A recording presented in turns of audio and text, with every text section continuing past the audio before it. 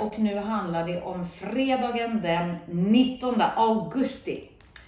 Och, oj då. Jag börjar med Crémant de Savoie, extra brut från André et Michel Quenard.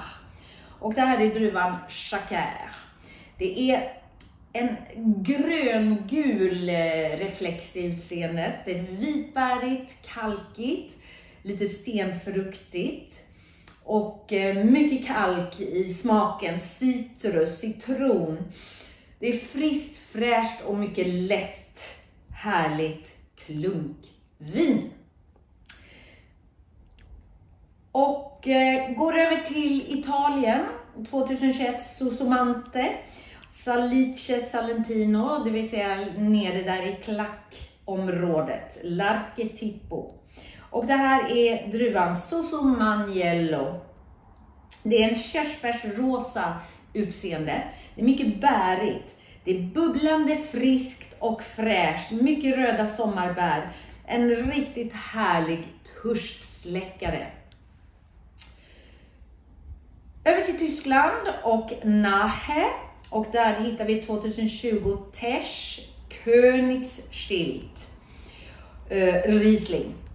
Eh, gulgrönt utseende, intensiv eh, Rieslingdoft och tersan är ju verkligen det där strama, stenhårda, härliga eh, stuket på hans viner. Mycket citrus, äpple, gröna frukter och aning blommighet.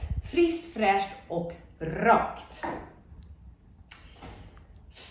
I Tyskland och här har vi 2020 Velener Sonnenor Riesling Kabinett från Jujos Prym.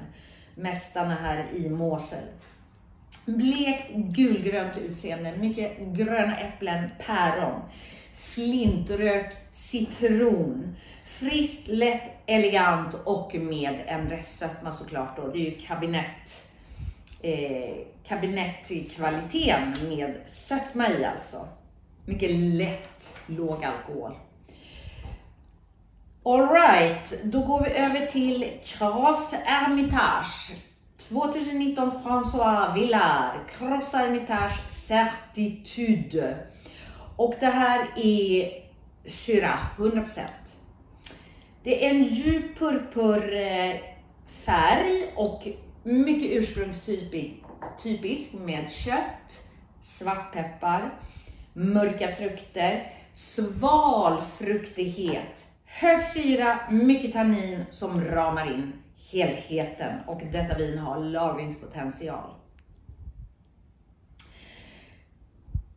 Sen har vi ett vin från Santa Barbara County och det här är Love You Bunches 2021 Carbonic Sangiovese. Sangiovese-druvan med kolsyrejäsning, hela eh, klasar. Stoltman Vineyards i som sagt Santa Barbara County. Det är rubinfärg, det är en körsbärsdoft, det är en mycket transparens i helheten. Rent, lätt, friskt, fräscht, god fruktighet, mjuk tannin klunka detta vin sval temperatur. Och sist, detta släpp eh, av mina rekommendationer då såklart, 2021, Beragna Camancine di Repaci Roberta.